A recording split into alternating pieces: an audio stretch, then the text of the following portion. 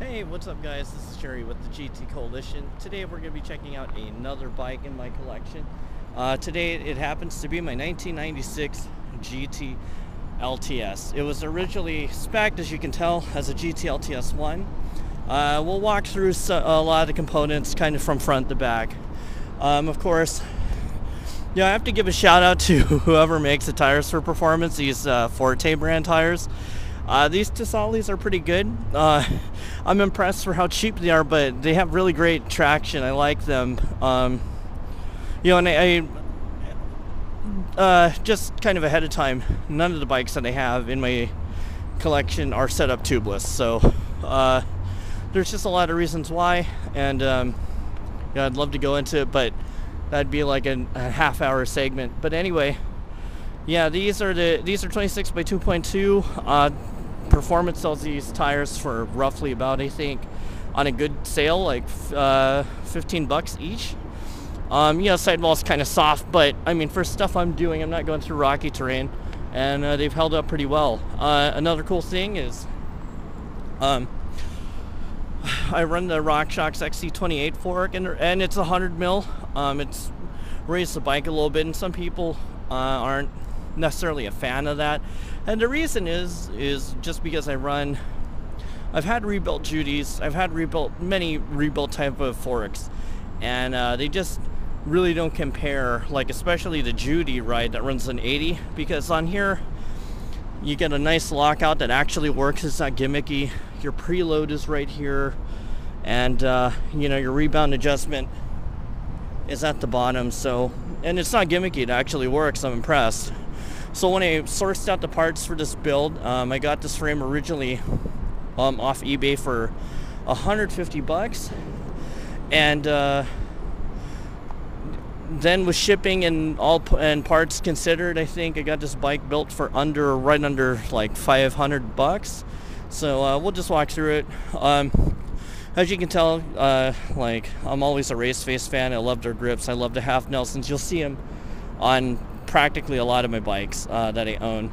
Um, other things are, you know, I run a core stem, or I mean a core handlebar, and usually my handlebar width I prefer is like in the 720 range. I think my sanction is the only exception to the rule where it's much wider.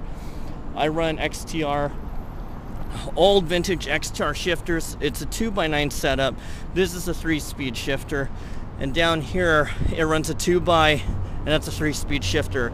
And it's just having the adjust the limiter screws adjusted here. So that way you know you kind of lock out and um, you don't have to you're not overthrowing your you're, you're not throwing your chain off the chain ring or anything like that. For a crank set um, I didn't want to go with a one by just because as you can tell on my cassette um, it, you know it, it's a sub 40 tooth cassette. So for climbing um, in case I just wanted to have a granny gear up front. And uh, that's that's been doing pretty well. This is a 32 tooth with a bash guard and I've nicked some things so it comes in handy.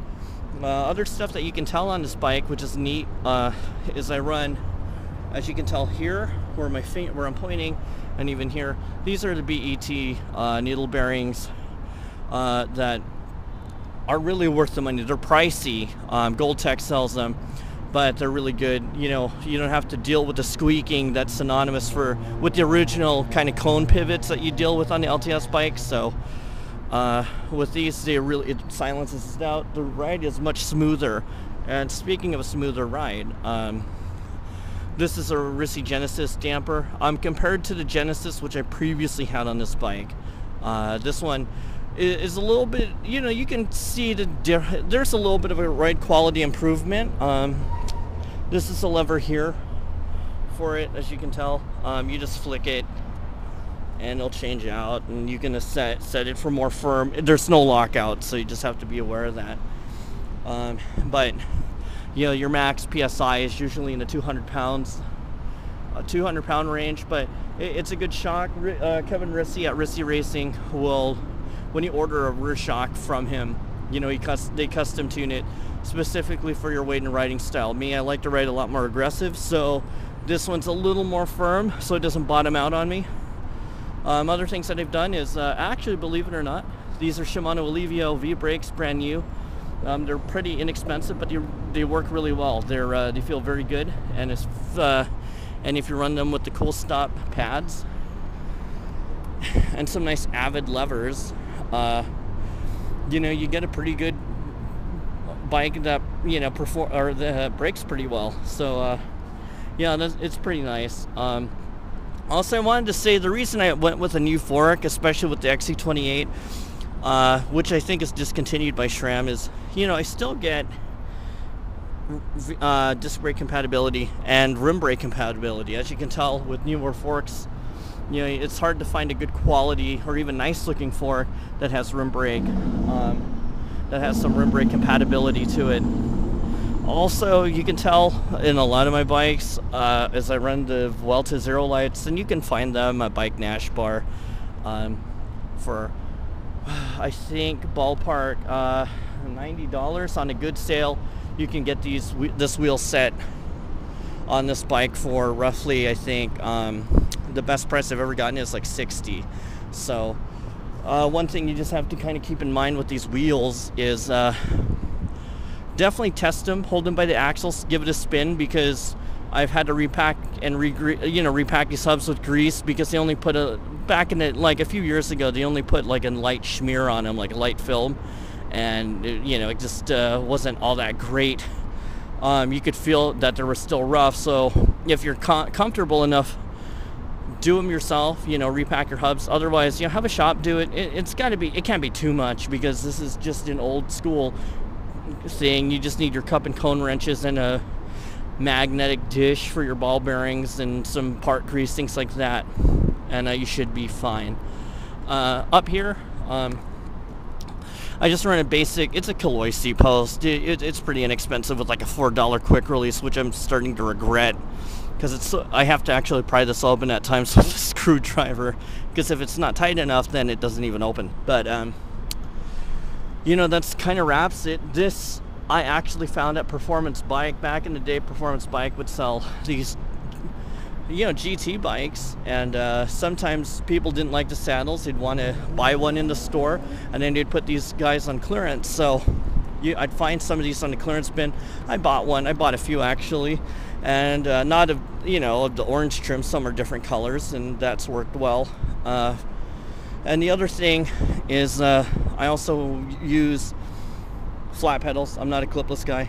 Um, it's just a trial thing. I just uh, I'm just so used to not having clipless pedals.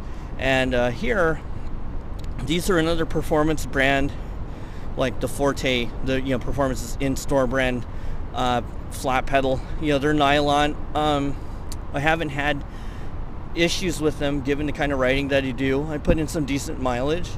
And uh, the other thing is uh, for headsets, I just I ran a Chris King. You know, it's an LTS, right? And it's like the polished slash ball burnished kind of bikes that are beautiful. So for me, and that's not a crack. I had that checked out. Um, you know, for me, I just love to get a Chris King headset. If you're gonna have a beautiful bike like this, that I think coming up um, for this bike in the future is I'll end up you know, just changing these out. I, the plastic things, you know, you change out their grips and then they're worn out. So some bar end plugs are coming for it. Uh, you know, it's got this vintage.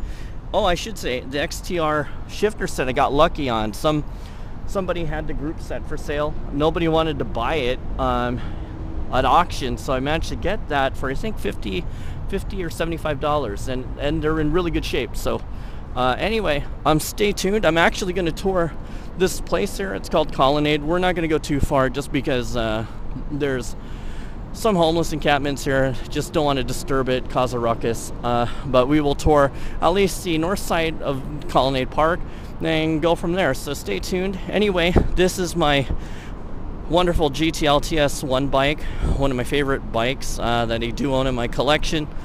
Uh, and you know, I think even by today's standard, it, it rides pretty well. Um, the only thing is it does this brake jack, so when you hit the brake, this thing kind of expands out, like the rear wheel and the front and the the front wheel kind of expand in wheelbase distance when you're braking on steep stuff, especially.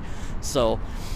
Uh, the way you can remedy that actually is if you had a disc brake mount. This is a 96, and the reason As you can tell, I don't have any tabs for it on either side, and I don't feel like welding one on. And uh, also beware if any of you are going to buy a GTLTS, just keep be aware of this. Uh, the rear swing arms, many are different over time. Like the 95s can't fit a V brake. The brake bosses are per, are pushed a little bit, pointed up, so the V brake arms will actually hit this, um, and you can't even. Well, actually, yeah, they they won't even clear this at all. So, you know, just kind of be aware if you're going to be uh, getting an LTS, kind of know what the rear setup is like if you're not familiar. That way you can kind of know where to source your parts, things like that. But if you folks have any questions about my GTLTS 1, or I mean my GTLTS, sorry, it was spec'd as a 1, but it's not obviously anymore. But uh, drop some comments in the box in the co- in the comments box below. Ask me any questions. Always be happy to get back to you guys. Anyway, thanks for watching. I hope um, you guys enjoy the content. Stay tuned. I'll have more. Thanks. Bye.